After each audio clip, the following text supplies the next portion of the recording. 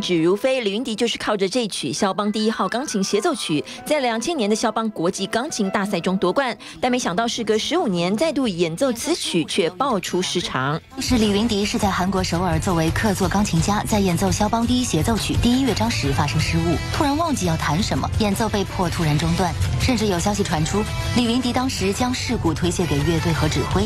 令观众大失所望，引发退票。不仅演奏哪首曲目出错，李云迪活动官方机构第一时间回应说，李云迪是因为舟车劳累失误，甚至把责任推给乐队指挥，引发网友挞伐。风波直闹了两天，李云迪才终于在个人微博上致歉，称作为一个钢琴家，无论任何理由，都必须在舞台上交出一百分的表现，任何解释都是苍白的。